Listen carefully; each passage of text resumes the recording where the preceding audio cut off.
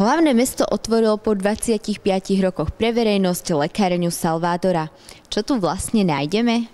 No, teraz sa tu nachádza momentálne výstava, ktorú pripravili organizácie hlavného mesta a touto výstavou chceme vyplniť ten časový priestor, pokiaľ sa sem nevráti nejaká funkcia, ktorá tu patrí, napríklad funkcia lekárne.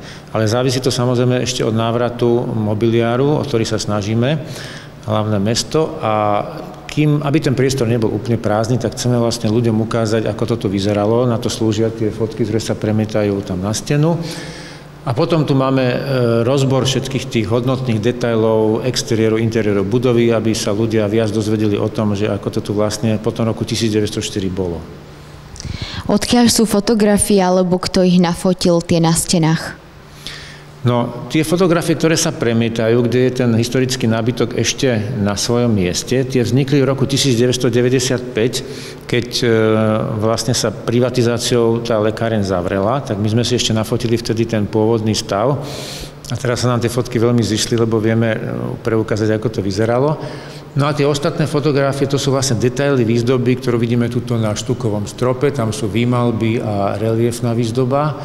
A potom ešte aj táto keramická podlaha, ktorá je tiež z roku 1904. Čiže všetky tie texty vysvetľujú, že o čom sú tie malby, o čom sú tie reliefy, to všetko má nejakú symbolickú rovinu. Hej? Napríklad e, tým, že to bola lekáreň, tak samozrejme hlavný motív, ten mytologický bol e, Asklepios, boh e, lekárnictva, ktorý mal štyri céry, ktoré sú tam na tých obrázkoch rozvedené a tie štyri céry mali vlastne každá nejakú funkciu z hľadiska liečenia. Jedna mala akože prevenciu pred chorobami, druhá liečenie chorôb, tretia hygienu a tým pádom sa e, vtedy týmto, tým ľuďom to bolo blízke, lebo mytologický grécky aparát im bol známy v 19. storočí. Dnes už to trošku ubieha do zabudnutia, tak sme to pripomenuli formou týchto textov a fotiek v akom čase si môžu ľudia prísť pozrieť tieto fotografie a vlastne túto výstavu?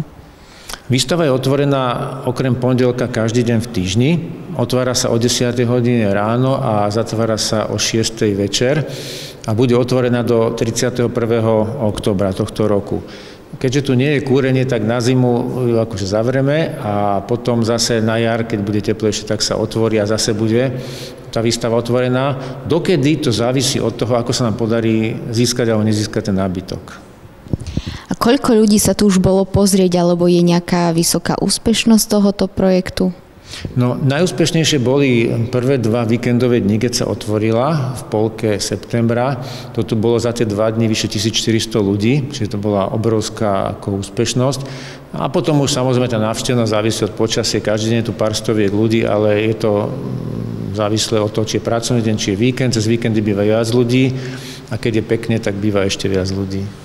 Lekáreňu Salvatora na Pánskej ulici 35 bola zavretá v roku 1995.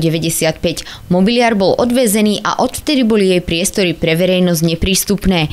Mesto v priestoroch lekárne nainštalovalo výstavu, ktorá má pomocou starých fotografií pripomenúť atmosféru výnimočných priestorov. Myslíte si, že sú tieto miesta výnimočné a je im treba venovať pozornosť? Určite áno, treba ich vlastne zachovať pre budúce generácie a vlastne objavovať tie krásu, aj vlastne tú históriu, aj vlastne k čomu slúžila táto lekáreň, že vlastne skrývajú za sebou nejaké tie príbehy. Takže sa vám páči táto výstava? Áno, veľmi sa mi páči. O, sama som prekvapená, vlastne som tu prvýkrát, takže veľmi sa teším, že som to aj vlastne stihla a že vlastne sa to sprístupnilo pre verejnosť. A čo vás tu možno najviac oslovilo?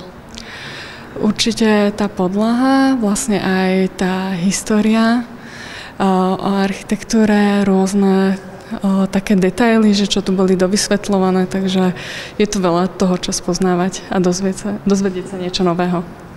Je podľa vás dobre, že je to teda opäť otvorené aj sprístupnené verejnosti? Privítali by ste možno niečo podobné aj s o inými pamiatkami? Určite áno, je to super vec, že sa postupne sprístupňujú takéto budovy, že každý deň mohol človek okolo nej prechádzať aj okolo ďalších tých uh, palácov, rôznych budov a rozmýšľal, že čo tam vlastne v minulosti bolo. A takto sa môžu dozvedieť, že niečo nové. Vedeli ste, že dlažba vyrobená v lekárniu Salvatora má toho istého výrobcu, ako mala dlažba na Titaniku? Pre televízu Bratislava Simona Halamičková.